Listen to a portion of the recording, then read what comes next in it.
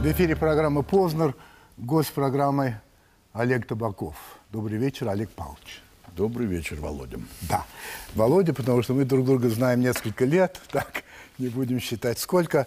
Значит, у нас всегда э, в начале вопросы, отобранные мной наших зрителей, они их присылают на Первый канал, на сайт. Вот, ну, пять вопросов.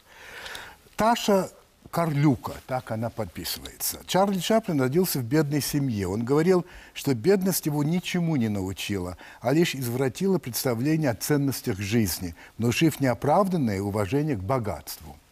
Олег Павлович, знаю, что вы также не родились с серебряной ложкой во рту. А чему вас научили бедность и богатство? Ну, богатство меня еще научит.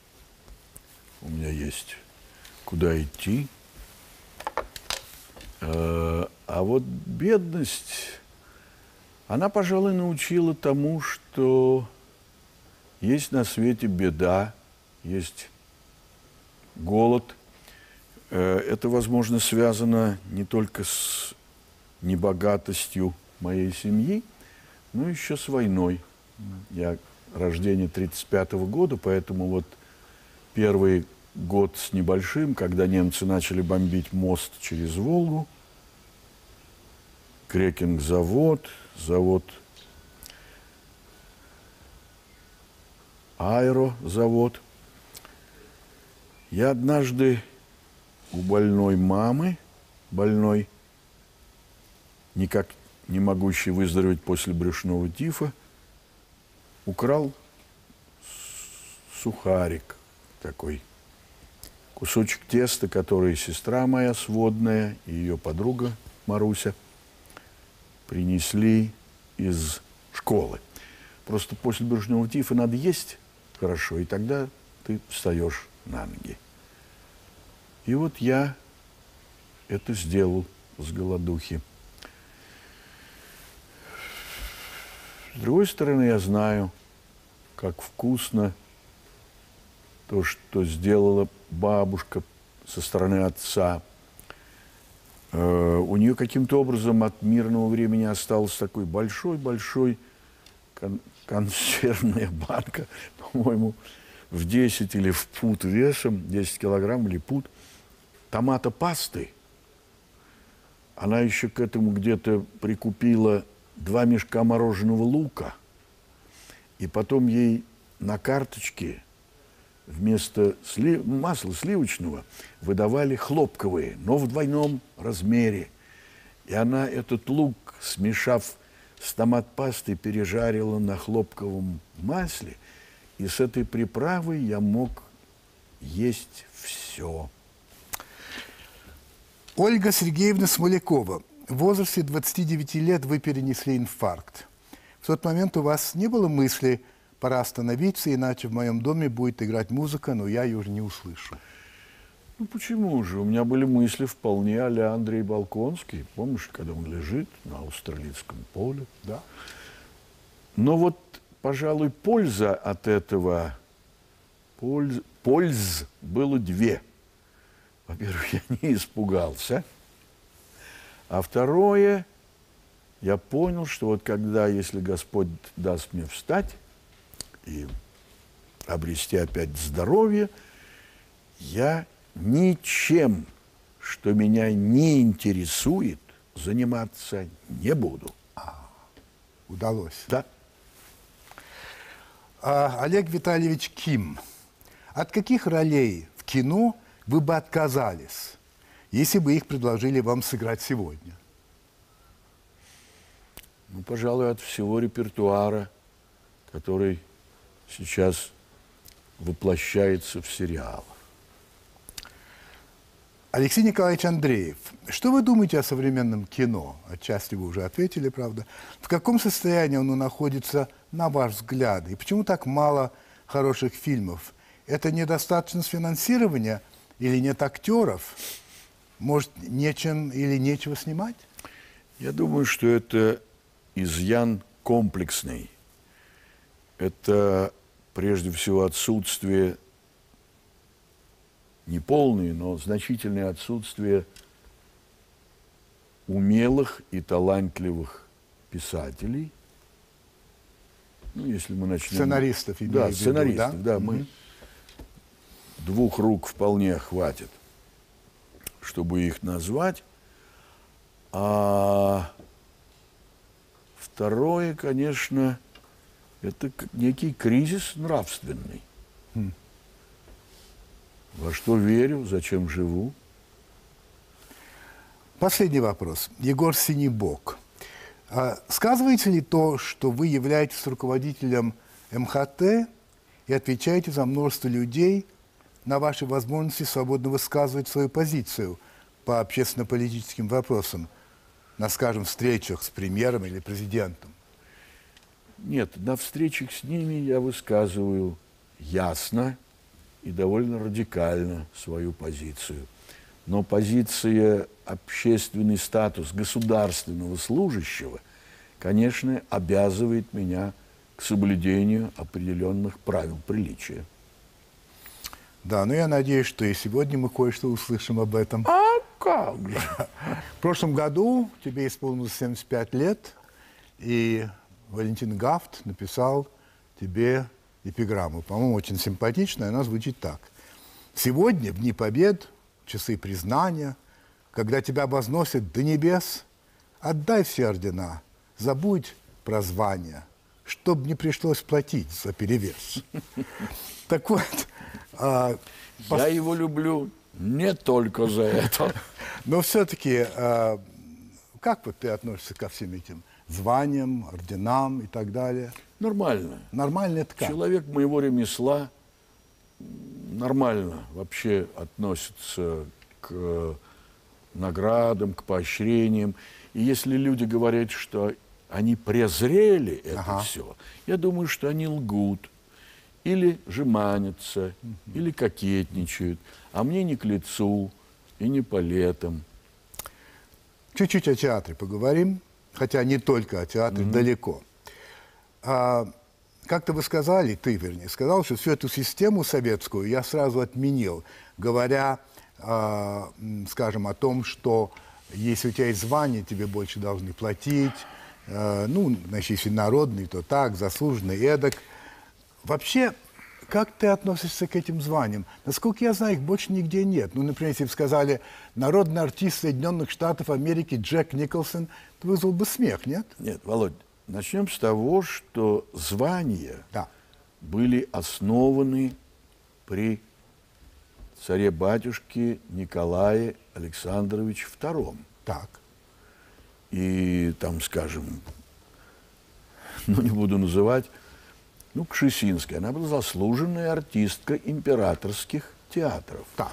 Это выражало определенный статус ее да. или ну, наличие острого интереса к ней какого-то великого князя или, или еще какие-то признаки. Но это изобретение от- отнюдь не советской власти. Я понимаю, но советская власть это развила, я. Конечно, довела Вот. до. С другой стороны, вот я довольно много работал в Японии, там преподавал, и там есть такое понятие, как национальное достояние. А.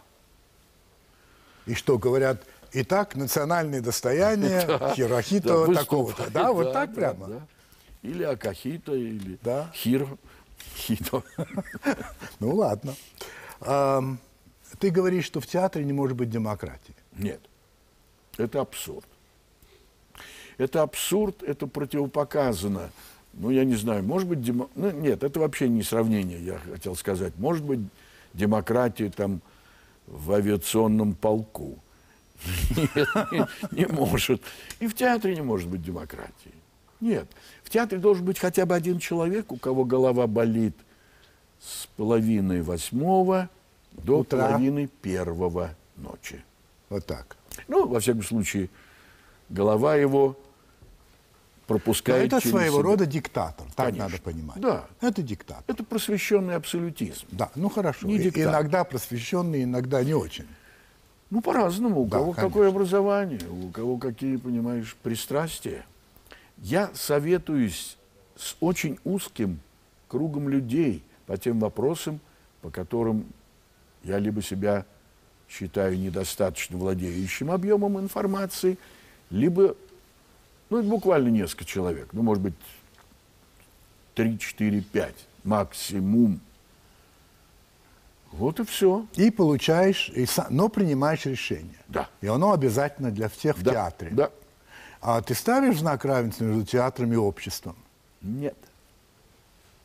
А в чем разница?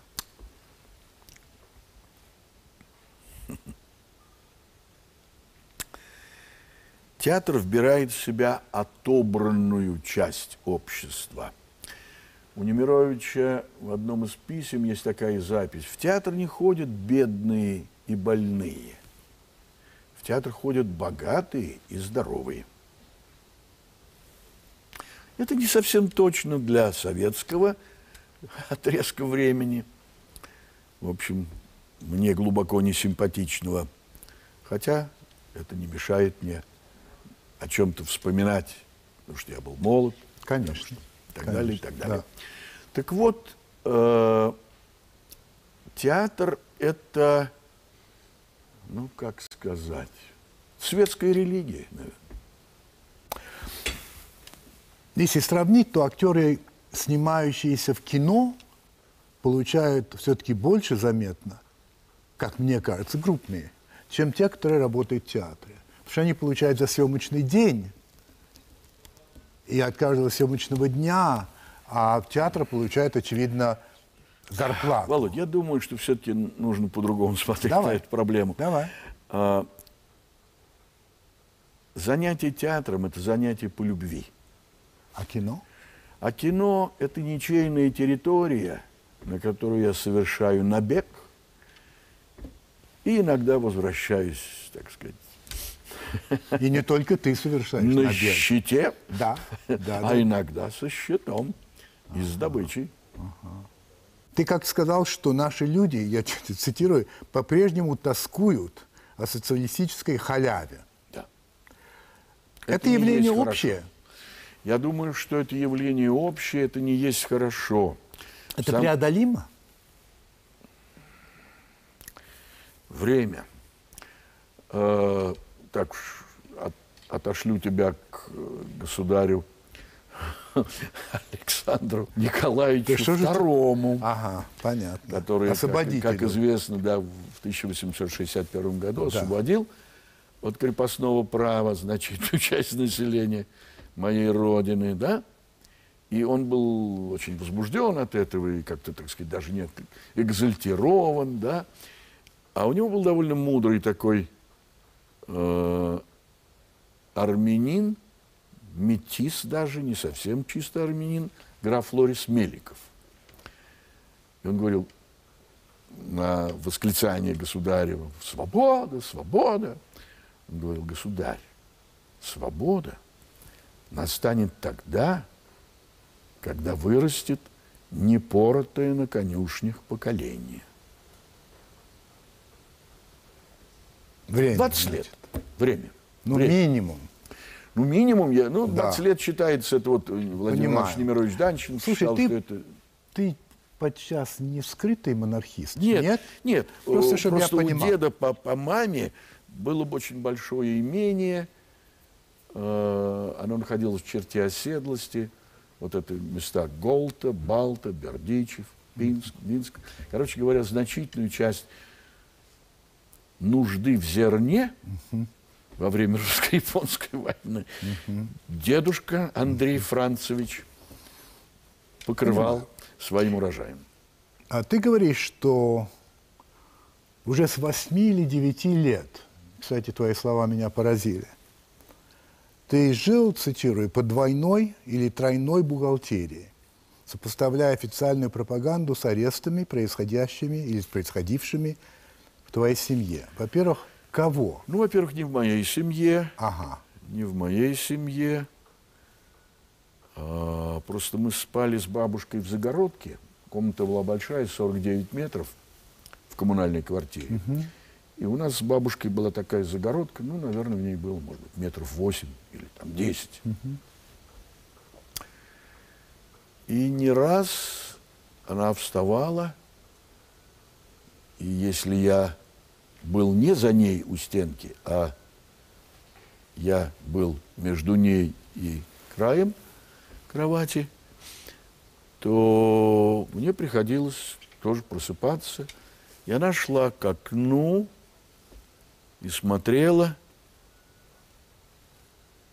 Летом открывалась рама, там была сетка от мух. И было видно, иногда даже слышно, как приводили и увозили человека. Мне было шесть и семь. Но смысл этого я узнавал из молитв бабушки. Она после этого не засыпала довольно долго, становилась на колени, молилась и довольно ясно формулировала происходящее. Я был вообще сообразительный мальчик, довольно рано читать научился и писать. Тебе удается ныне жить по одной бухгалтерии? Да.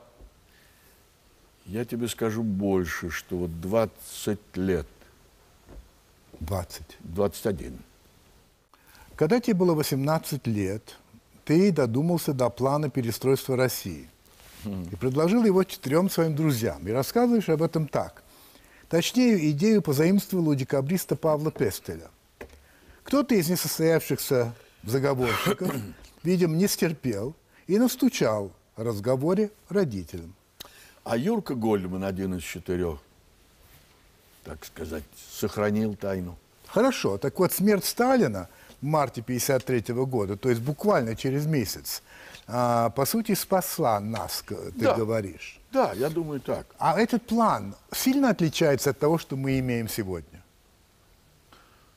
Сильно, но все-таки планы Д'Антона и Но всё-таки вот твои- Сан-Жюста и там еще прочее. Но это был капитализм, этот план.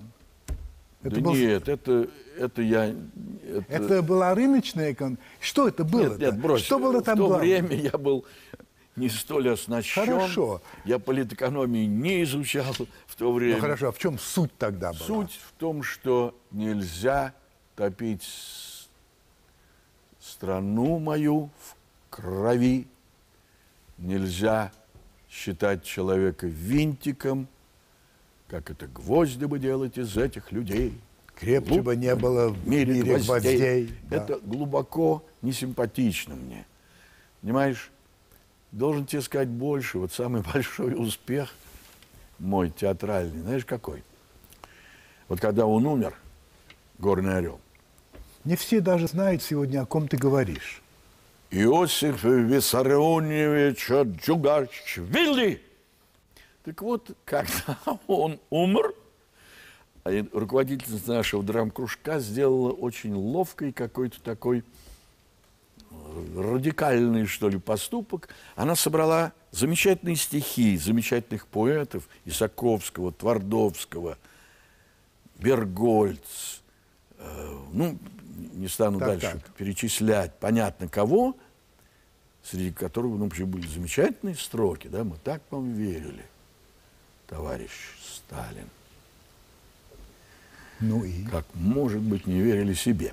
И вот я с партнершей Ниной Бондаренко, она была звонким голоском, с которым, так сказать, она вела вместе со мной пионерскую радиогазету «Школьная жизнь». Комсомольский Вся- такой А голос. как же? Да, да, да. И вот мы с ней это читаем, две минуты читаем, пять минут читаем, и вдруг я слышу, что в зале что-то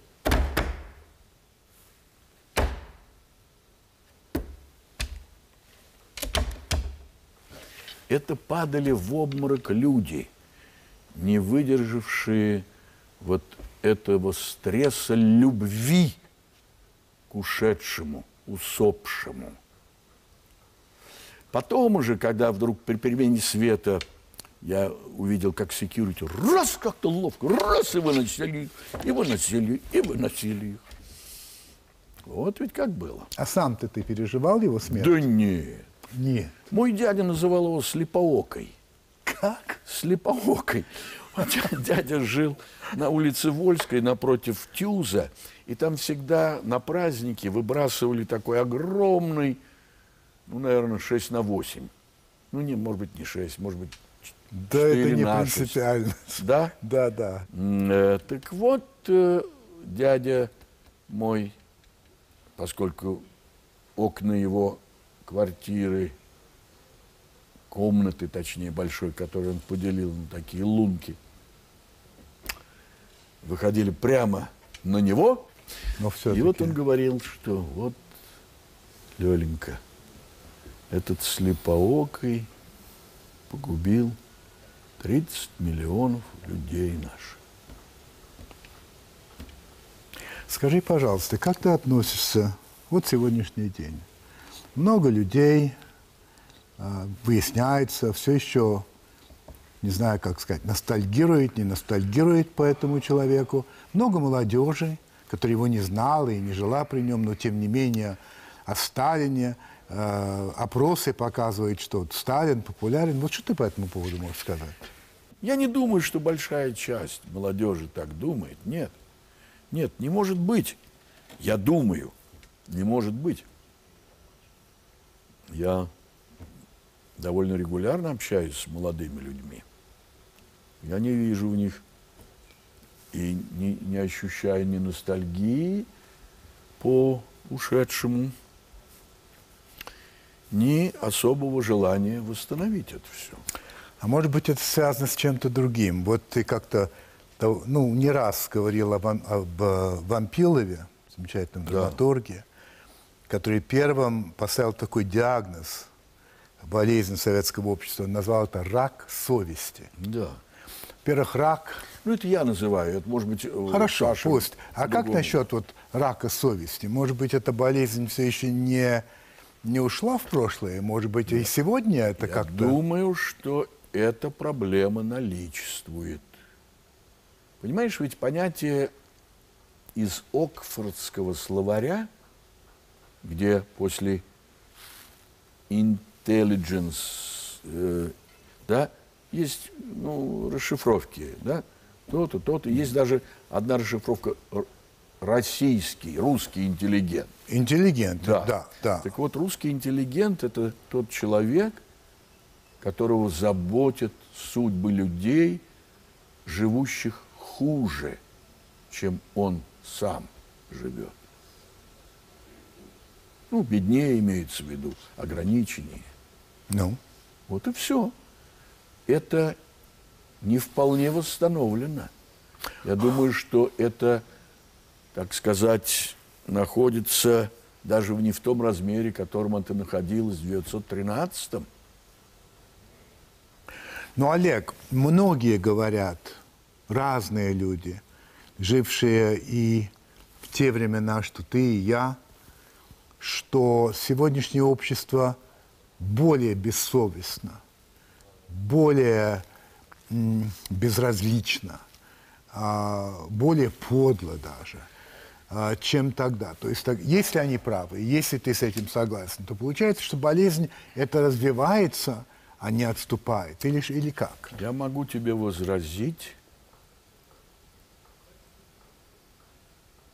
Богатые люди, ставшие богатыми при смене так сказать, общественно-социального устройства этого Да. общества, моей страны, моей земли, ставшие богатыми именно в этот отрезок времени, довольно много помогали и помогают. Я сейчас говорю о другом. Мы же все-таки, ну или вопрос ты поставил о нравственности общества сегодня. Не отдельно взятых богатых людей, а нравственности общества. И здесь многие говорят, что оно безнравственно вообще. Я думаю, что это несправедливо. Я думаю, что говорить про общество, что оно безнравственно, безнравственно. Отношение к власти, позволишь. Ты говоришь, я достаточно дистанцируюсь от любой власти. Мне в моей жизни не случилось ни продать, ни предать, ни руку протягивать. они мне сами все давали. Так? Как удалось это?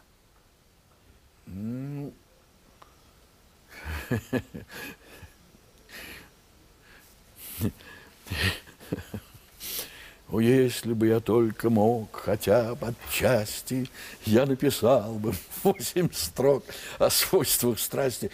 Ну, это же, ну, как тебе объяснить, Володь? Ну, ну говорить так сам про себя как-то неловко. Я же не произвожу впечатление дурака. Нет? Абсолютно. Вот. Я хитрый. Абсолютно хитрый. хитрый. Так тут, может, извини, конечно. Кстати говоря, Да. у моей дочери, Да. А, которая любит котов больше, чем собак, Да. в отличие от тебя, Да. ты любишь Да. собак, у нее есть кот. Да. А, зовут его Занзибар. Он ярко-оранжевого цвета. Недавно я с ним разговаривал, Да. и он меня спросил, как поживает Матроскин. Так вот, Матроскин не имеет отношения к тому, о чем мы сейчас говорим. Ты знаешь, Матроскин, это, по сути дела, герой, герой времени 90-х. А, Он, он, по сути дела, из немногих, кто слова маршала Киммерсена перевел на русско-кошачий, да, Ну. и выстроил, как говорится, опору на, на свои силы. Хорошо. Значит, вот твои слова. Из всех правителей российских, при которых существовал МХТ, включая государя Николая Александровича, только полковник Владимир Путин по-человечески, участливо и внимательно решился оказать театру помощь. Это правда. Чуть раньше ты сказал, что ты всегда а, достаточно дистанцировался от любой власти. Вот эти слова не говорят о дистанции. Они говорят о другом. Не? Ну, я думаю, что все-таки надо учесть, что и Владимир Владимирович когда-то был молодым человеком, а я в то время уже был довольно известным и сильно мелькающим на экранах или на экранах телевизоров. И вообще в это время и Кот Матроскин уже... Кот Матроскин он кто? Он ведь в свое время Василий Иванович Чапаев. Вот как был для Бориса Бабочкина Чапаев. Это правда, да. Это Ну я вот, знаю. герой нашего времени. Понимаешь, то, что в обществе к актерам относится иначе, чем к купцам, говорит Евгений Дорн, это в порядке вещей. Это идеализм. Чехов Антон Павлович. Юрий Любимов, хорошо тебе известный человек. Давно, наверное, знаком с ними и так далее. Опираясь на свой опыт, говорит, что с властью следует говорить жестко. Ты не согласен? Э, Со всеми надо говорить ровно и уважительно, стремясь понять логику визави. Я думаю, что слова Юрия Петровича все-таки в значительной степени относятся к советской власти. Несомненно. То есть я тоже так И думаю. я могу понять тогда, тогда это в контекст мой, моего представления о деле и об обществе укладывается. Кроме, искусства, э, кроме искушения властью, есть искушения, предлагаемые властью, считаете вы.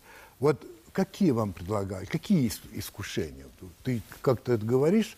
Вот что? Ну почему? Борис, Никола- Борис Борис Николаевич Ельцин, первый наш президент, он предлагал мне быть министром культуры. Это искушение? Ну, до некоторой степени, наверное. До Но некоторой- тебе я- как-то так захотелось хоть в какой-то момент? Нет. Я много знал. Я много знал к тому времени, с чем это связано. Или там я депутатом э, Госдумы. Нет. Э, человек моего ремесла не должен этим заниматься. А вообще как ты относишься к Борису Николаевичу? Я люблю его. Понятно. Ам, ты говоришь так, если... Хотя с- вижу, Ну, это не важно. Ты сказал то, что ты сказал. да, Если следовать политическим изменениям, освинячиться можно. Как-то ты сказал. Освинячиться. да. Получается, что, ну вот, э, во-первых, часть страны, очевидно, ходит среди этих освиняченных. Ты сам был членом партии? А как же? А, был. Олег Николаевич Ефремов повел меня и Женьку Евстигнеева в Неву. Мы заказали, выпили, и он сказал, ну вот что, надо в партию вступать, иначе просрем театр. Почему? Потому что членами партии надо было парторганизацию создавать. А членами партии в тот момент был Маланин, Это кто такой? это зав монтировочным цехом, два пожарника, Леня Эрман, он в армии вступил, нынешний э, исполнительный директор, директор худо- Да. э, современника, и сам Олег. Надо было ячейку создавать. Тогда к нам отнесутся всерьез, сказал Олег. И мы, сильно понурившись с Женюркой, сказали, да, понимаем. Хорошая история. Это правда, а не история со всеми вытекающими. А потом опять выпили, нет, наверное? О, как тогда-то вот и началось. Да, говорят, вступил по пьяни, да? Да. А, довольно жестокое или жесткое заявление с твоей стороны. Пусть выживет успешный, а остальные умрут. Это ты всерьез? Э, Это относится к нашей неизбывной, равнодушной, в общем-то, тезе всем ровно и так далее. Помогать надо идущим вперед. Театр, как утверждали учителя, это как велосипед. Он либо едет вперед, Либо либо, падает. падает. Другого не дано. А падающим надо социальную защиту обеспечить. Это проблема, которой должен заниматься союз. Да? Должен ли он быть союзом театральных деятелей или профессиональным союзом? Это не моего ума дело, но я явно понимаю, что по части социальной защиты большой недобор. А по части ля-ля тополя в избытке. Скажи, пожалуйста, это вот меня лично волнует. Я люблю театр, хожу реже, чем, чем хотел бы, но так получается. Я люблю Но иногда, театр. ну, ты любишь. Я попадаю иногда на пьесы, которые меня совершенно поражают в смысле того, как они поставлены. Ну вот, скажем, я э, очень люблю Сирано де Бержерак. Я имею в виду и книгу, и, Да. и пьесу, и так далее. Я очень хорошо представляю, каким он был, Сирано, и как он выглядел. Я понимаю, что Сирано без шпаги это как-то ну, не может быть, потому что шпага – это части и так далее. И в, в одном известнейшем театре и постановка известнейшего нашего а, режиссера. Он в пижаме все время, без всякой шпаги. И мне говорят, он так видит. Судорожно. Я где, хочу- Где может быть, где может быть, где может быть, где- Я хочу спросить, что значит так видит? Так написал Растан. Не нравится? Напиши свою пьесу. Да ладно, не Ну, надо всерьез. Э, как это это называется, многие знаешь, этим занимаются. шутники. The bread of the sieve cable. Знаешь, что это такое? Нет. Бред сивой кобылы. Ну, что это такое? Ну, зачем это? Это нехорошо. Это называется... Так и Чехова так Ну, ставит. зря между- потраченные государственные деньги. Если бы свои деньги, тогда ладно. Одевай в пижаму. А если на государственные, давай рапиру в руки. Нет, ну это не надо даже обсуждать, по-моему. Но есть люди, которые совершенно серьезно говорят, ну имеет же режиссер право на свое прочтение. Да, конечно, имеет право, и это правда, и это так, и это верно. Но, повторяю, надо иметь культуру, да? надо иметь образование, и надо иметь совесть. Да. А то так получается, моя совесть пишет дома повесть. Я, знаешь, эм, наверное, просто принцип такой. Я не задаю вопросов людям, приходящим в эту программу, об их личной жизни. И мне это кажется неловким и неудобным, я этого не делаю. Правильно делаешь. Да, я только спрашиваю тебя об одном. Старший сын Антон, с которым я ну, знаком, не то что близко, Да. но знаком, не раз виделся и так далее. Он же ведь, если я правильно помню, хотел быть актером или начинал с того, но не стал. Не жалеешь ли ты о том, что он все-таки не пошел по твоему Э, пути? Я думаю, что он для этого слишком добрый и нечестолюбивый человек. А что, надо быть недобрым, чтобы быть актером? Нет, Честолюбивым, я понимаю. Да, честолюбивым да, обязательно. да. Обязательно. Ну, он как-то умудрялся, что ли, ну, не умереть от разрыва сердца, когда ему не давали долго, скажем, ролей Послушай, или еще он же очень успешный предприниматель. Да, Там доброта не то чтобы уж очень. И честолюбивие это как-то так да, требуется. но вот я знаю просто, что он помогает людям. Хорошо. А ты доволен своими отношениями с ним? Я его люблю. Отношения. Вот, я, давай я отступлю. У меня были очень сложные отношения с моим отцом. Я его очень любил, и он меня очень любил. Но, по сути дела, мы стали друзьями вот только в последние пять лет его жизни. Вот я тебя об этом Твой спрашиваю. папа был человек непростой. В отличие от меня. Да, ты прост прямо, Вот. как Краксворд. Непростой, это правда. Понимаешь, но он был интеллигентен, порядочен и, как бы сказать, человеколюб. Ну, возвращаясь, значит, у тебя с Антоном вот отношения нормальные, ну, Да. та- такие, они тебя Да. устраивают.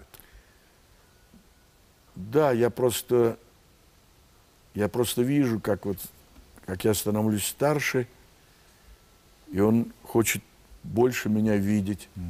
То же самое я испытывал при старении моего отца.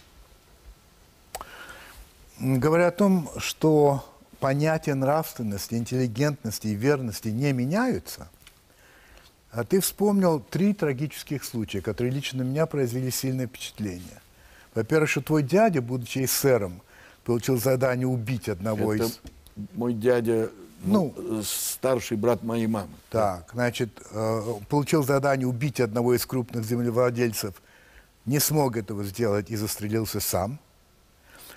А у тети твоей был роман с директором гимназии, она забеременела, и чтобы не упала тень на любимого, покончила жизнь самоубийством. Да, это правда. И, наконец, в 70-х годах ты дал почитать одной женщине самоиздатскую копию в круге первом.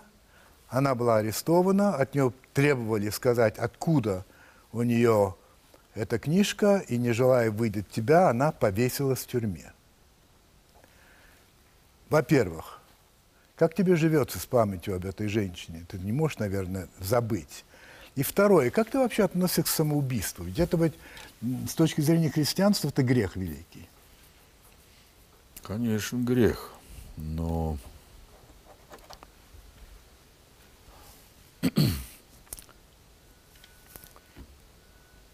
ну, думаю, что я мужчина, и мне вспоминать и то довольно тяжело. Ну, не хочешь, не надо. Не в этом дело. Конечно, грех, но, но это же от отчаяния делалось. Это Конечно. же от невозможности какой-либо какое-либо примирение с самим собой получить. А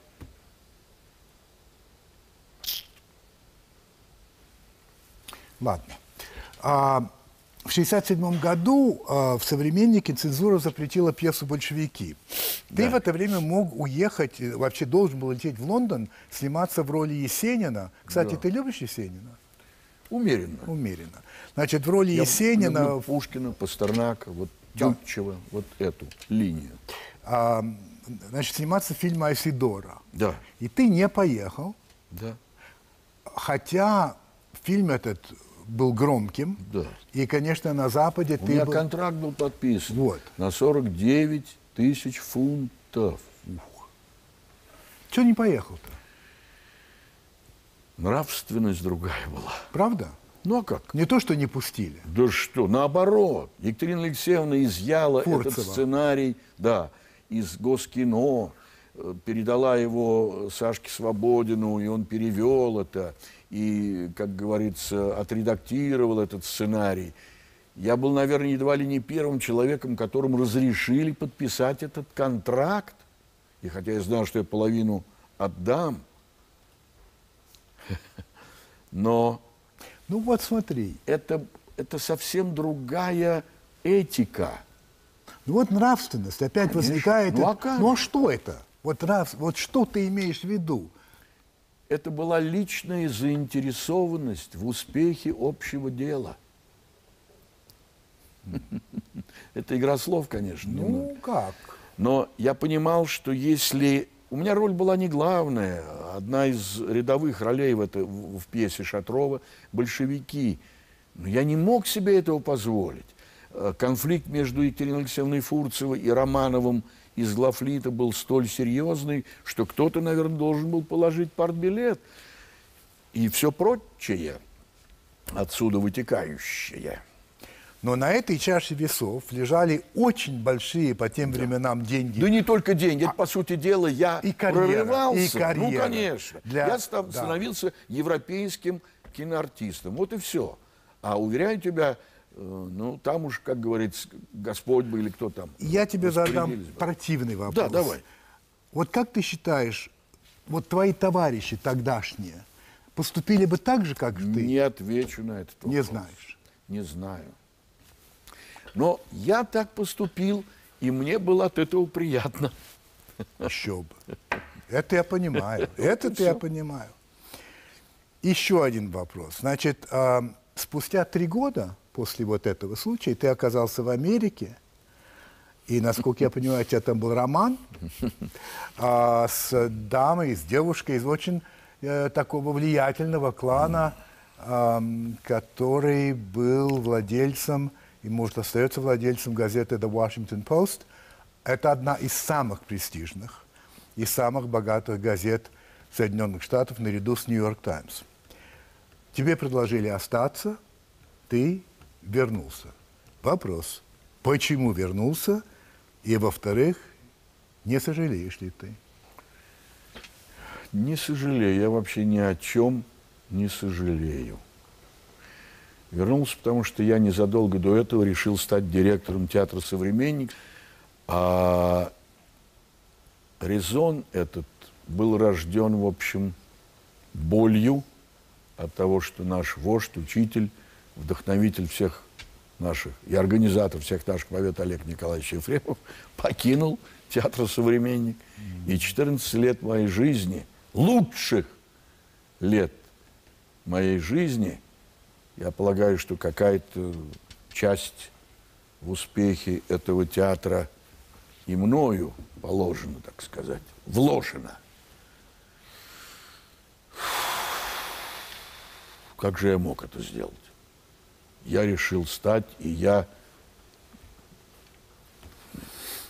Напоследок совсем простые вопросы. Вот среди всех ролей, а ты сыграл их больше ста, а, причем с большим гаком, насколько я понимаю. Да. Есть ли какая-нибудь, или там две-три, которые тебе особенно дороги, которые ты можешь назвать? Вот как-то вот, потому что, скажем, а, разные люди, думая о, тебя, о тебе как об актере, вот выделяют то или там, нет, там, Обломова или еще что-то. Вот для тебя что-то есть такое? Володь, я думаю, что очень важный, э, так сказать, ну, как это,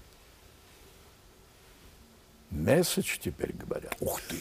Импульс, Да-да. посыл. Это первая моя роль на профессиональной сцене. Это пьеса Розова в поисках радости.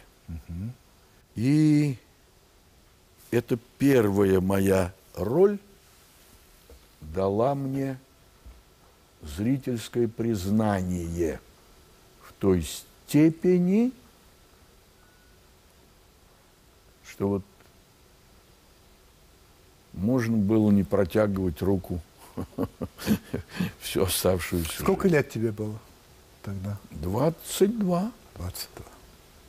А есть ли такая роль, которую ты мечтал сыграть, да так и не получилось? Да. Например. Эрик 14. Кто-кто? Эрик 14. А, Par example. for example, да. Или э, Ричард Третий, Калигула. Ригар- Ричард Третий Шекспировский? Шекспировский, да. Калигула. да. Ух, да. я представляю. У, Я, я немало знаю про это. Это я представляю, да. А, закончим вот каким вопросом. Прежде чем дать слово известному тебе Марселю Прусту, Да, да. а, твои слова. Любую хандру преодолеваю при помощи стакана беленькой и 12 часов здорового сна. Это такой рецепт универсальный, ты считаешь? Да. Универсальный. Абсолютно. Это признак здоровья душевного. Марсель Пруст, Да. о чем ты больше всего сожалеешь? Как мало сделано, как много пережито. Мало сделал. Какова твоя главная черта? Наверное, что ли, коммуникабельность. Какова твоя главная слабость? Доверчивость. Что такое для тебя счастье?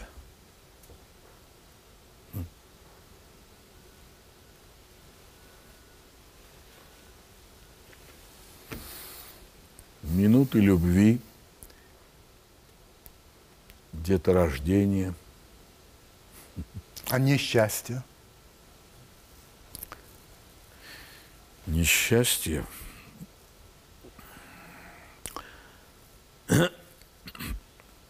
Я репетировал в подвале, там на улице Чеплыгина, дом 1А.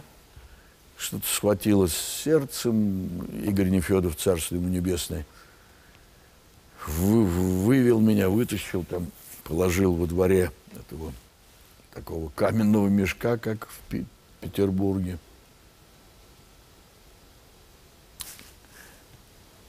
И я увидел, как по длинному, длинному такому, там арка есть на Чеплыгина. Метров, наверное, 30-40, может быть, даже, может, даже чуть больше. Идут Галя Волчок и моя первая жена Люся Крылова. Я знал, что они поехали к маме, которая лежала в больнице. Я понял, что мама умерла. И я, как сказать, стал старше. Понятно.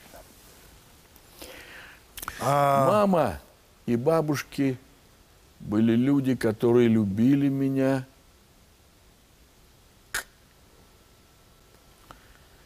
Я думаю, что я до сих пор защищен их любовью. если бы дьявол предложил тебе бессмертие без каких-либо условий, как? Ни к чему. Твой любимый литературный герой?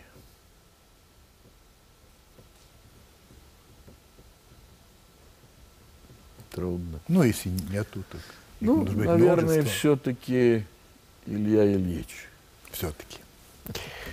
А, Обломов. я Да, хорошо, что ты сказала. то Ну есть- да. Да. А, кого, есть ли такой человек, которого ты презираешь больше всех? Вообще, живой, мертвый, ну вот, отторгаешь. Презираю. Ну, отторгаешь, не, не приемлешь. Сталина не приемлю. Сталин И Ленина. вместе, два человека. Нет. Раздельно. Раздельно. А есть ли такой, который для тебя герой, которого ты страшно уважаешь, вот он для тебя стоит как... Ну, их несколько, наверное. Это и Пушкин, и Станиславская, и Немирович, Михаил Александрович Чехов. Ну и последний вопрос от э, господина Пруста, оказавшись перед Богом. Что ты ему скажешь? Мне есть чем оправдаться перед ним. Это был Олег Табаков.